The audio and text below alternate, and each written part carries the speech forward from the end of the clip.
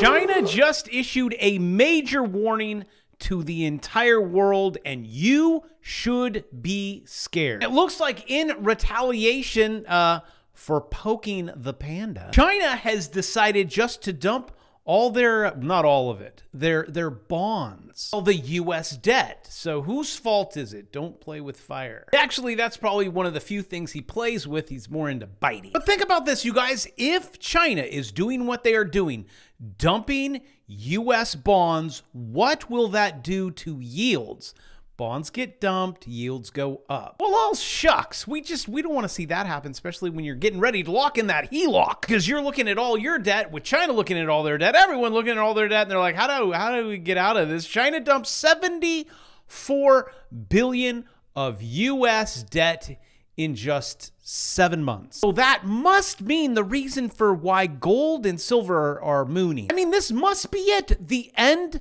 of the US dollar, which all YouTubers say, and then they say, link in the description buy my gold. So you are probably not going to find a YouTuber that goes behind the scenes, that has no dog in this fight, and say, well, let's look at the facts. And I usually like to do this by not looking at stories. I look at these things that they're called charts. And if I look at every time China starts dumping these US debt things, the question you'll have to ask is okay, why? But then, you know, everyone makes up their own narrative. But let's go back in time and look at all the dates when they dumped. To save you time, I went into Google Docs and I I typed it in. 2000, they were dumping us. That would be the bonds that we issue. They're like, get rid of them, we got to buy something. 2000, 2007, 2011 to 2012, 2015, 2020, and now 2024. Because I have nothing else better to do in my life but to show you what the hell is going on in the world while everyone is in my pool having a grand old time. If you could just support my work by clicking the subscribe button, make it go boom. It's actually a cool animation that uh, YouTube created. Thank you. Except for some reason, my channel, you'll look at it and go, I, I can't even tell if I'm subscribed or not. And I say, thank you, YouTube. Now let's go back in the charts. This is the S&P 500. SPX. We're going to go back to year 2000. Let me just power up my flux capacitor and get this thing a moving. Also added little uh, Chinese flags, and if I got that one wrong, I'm sorry. So where you see the Japan flag, just know it's the Chinese flag. Sorry. Science classes was never my subject. Anywho, all the way up there, 2000. Hey, that's weird. So they they were selling bonds and then the stock market dumped. Oh, green line, the Fed pivots. Oh, huh. I wonder if uh, they could be on to something. All right, let's let's Let's go over here. Oh, oh, oh, we got a tightening cycle. Also a dollar shortage, which I'm going to show you, and it's all going to make sense. Just follow my lead. Look, another Japan flag.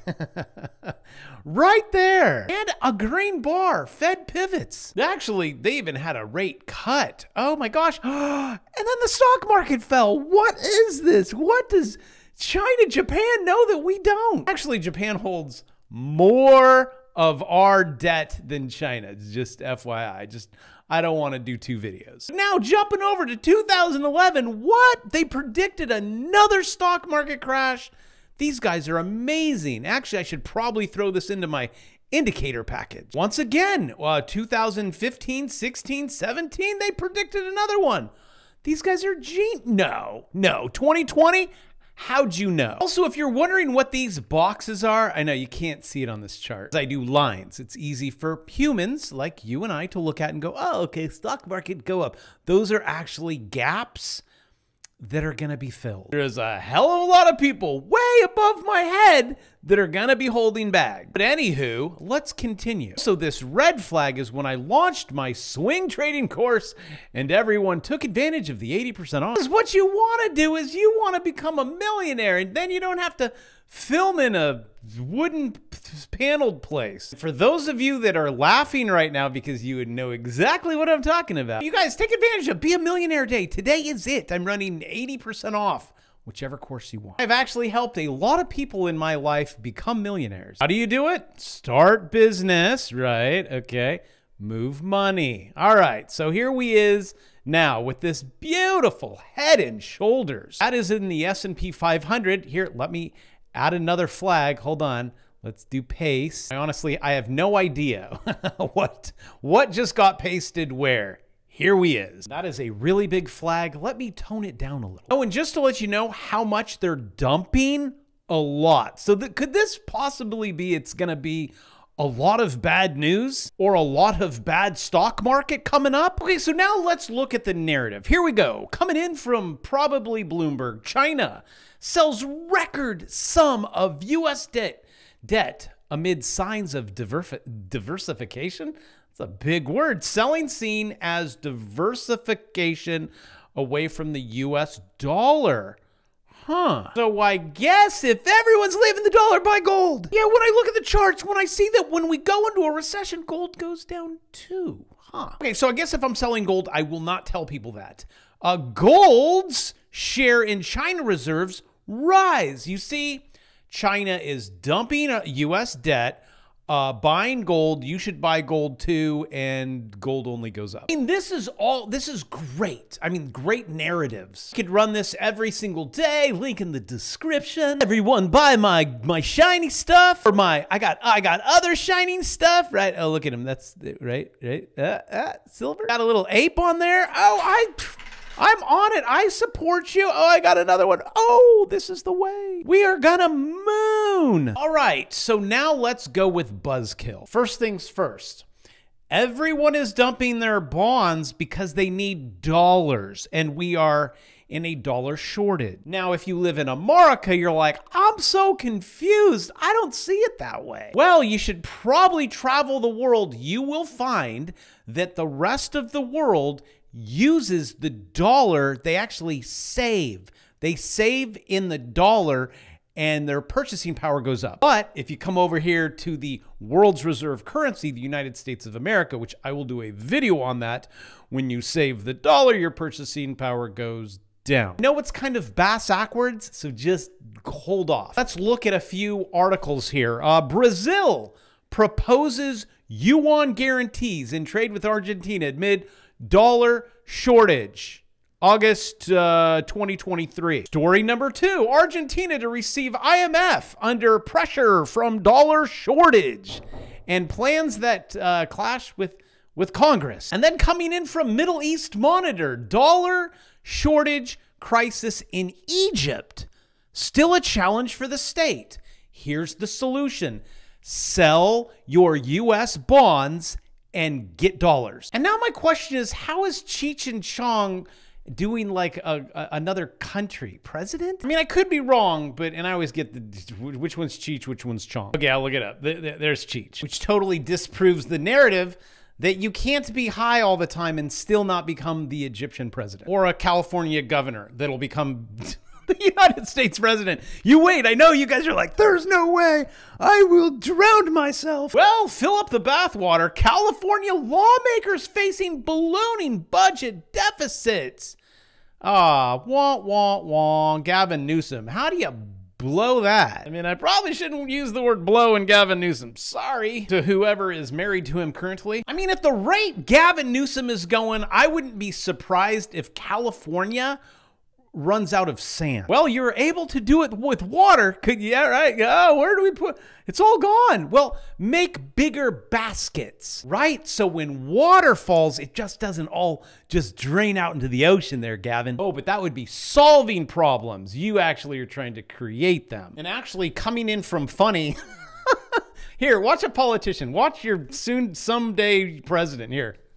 I'm sorry, Governor. I didn't hear responses to either of those questions. Yeah, that's because you, are a politician. You don't answer the questions because you're a liar. Um, about whether uh, this is state money. Ultimately, I understand it goes to the counties, but do you? Try not to laugh. I mean, tell me that eye movement is not from the the Rock Johnson, and you do know what I am talking about. You guys should be more worried about that. Here, let me give you something to worry about. Uh, Wells Fargo accused of aiding and abetting alleged lots of lots of commas there Ponzi scheme. Wait a minute, a bank that can create money out of nothing? A Ponzi scheme with more than a thousand victims? Well, I'm pretty sure administration will be on this. And ladies and gentlemen, boys and squirrels, every single day, start a business, wash windows, don't care, do my Amazon course for 99 bucks. Pictures of this trader right here. He, he's he's about 22 years old. If you want if you ever want to be a crypto trader. Actually, I, I will bet you I could probably go over to Amazon. Sorry if my eyes are looking the wrong way. I, screens all over the place. But there's probably a shirt that a guy has on with that one that's probably making 5 grand a month. But anywho, don't uh, don't mess with the people that, that own the Fed. Don't mess with the banks. Mad at it. It's just the system. Trade their stock. Be excited when you can. yeah, I'll let you know when they're, they're under the 200 day moving average. That one actually feels good to short. Jamie Dimon, what's going on? Led bank CEOs to fend off tighter capital rules.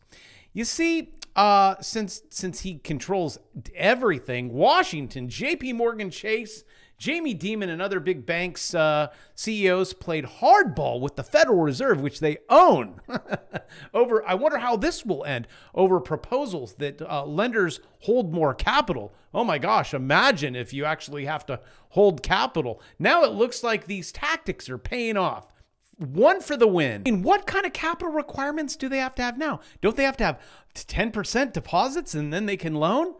Uh, oh, no? Oh, I, I thought I learned that somewhere. Oh, their reserve requirement ratio is at zero. So that means all banks, especially if they are connected to the Fed, you got to be part of the cool crowd. You also get to buy those bonds, right? That Janet issues on the cheap. And then it's like an arbitrage game where you make money. You're just not part of the cool crowd. But, but wait, wait, wait a minute. I give you the indicators. You take whatever scraps fall off that table and you make them go higher while they have a system, a banking system that is short dollars that no one understands, but I try to explain it in this on this channel. But just know, no dog in this fight. The world is short dollars. They're saving dollars because it's better purchasing power, but it's just not here as they have nothing. It is a gigantic Ponzi scheme. A bank has nothing in it. You go there and you say, hey, I want a loan for a million dollars. They don't have to have anything. They can have negative balance sheets. The, the Fed does. It's negative. They're like, someone want a loan? I mean, is that crazy? They could just out right out of thin air. The Fed gets to loan, the banks get to loan. Everyone's confused. They think the Fed prints money, banks print money. You you actually could print money. You just go to jail when you do it. Anywho, I love you. Take advantage of what the last you how many more hours do we have left of be a millionaire day? Or you could just sit there and go to work every single day. I don't care. I, I, I work every day. I, I love coming here, although being out at that pool, ah! And also this weekend it's gonna be so nice. So if I skimp on videos a little bit, I'm just kidding. I will never do that. I will always give you my 100%. I love you, and I will see you tomorrow.